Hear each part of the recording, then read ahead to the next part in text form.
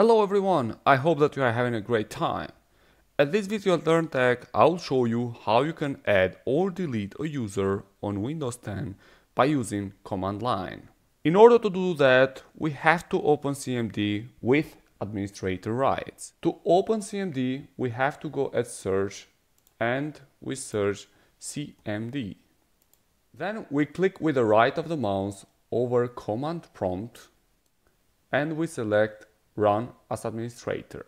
And here we go, we are in command prompt with administrator rights and we can see from this part here, administrator command prompt. There is another way how we can open CMD with administrator rights. We go at the Windows sign here and we click with the right of the mouse and we choose command prompt admin. We select with the left of the mouse and you can open command prompt with administrator rights.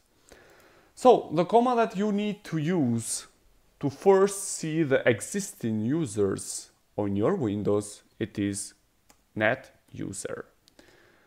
I will mention that it's really important that you don't forget that the commands that you apply in command prompt are case sensitive. So make sure that you write correctly the commands on command prompt. So these are the existing users that I have in my computer.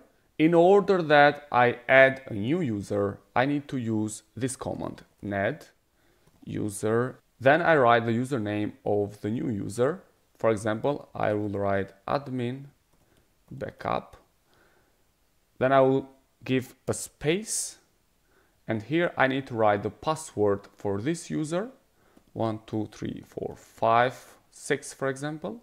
Then space, slash, and then we write the command add. Once we write the full command, we press enter and then we will receive this notification which says the command completed successfully. So you write net space user space, then you write the username of the user, then space, then the password of the user, then space slash add. So let's write the command net user to see if the user is added. So here we go. So I have here the user admin backup, which I just created. If I want to delete an existing user, which can be in this case the user that I just created, I will write the command net user and then I write the username of the user that I want to delete. So let's suppose it's going to be admin backup. Then I write space, again slash, and the command delete. So the full command is net space user space the username space slash delete. Once I'm done, enter. The command completed successfully, so the user admin backup is deleted. Let's have a look on it. Net user, enter. So here we go. I don't have anymore the user admin backup.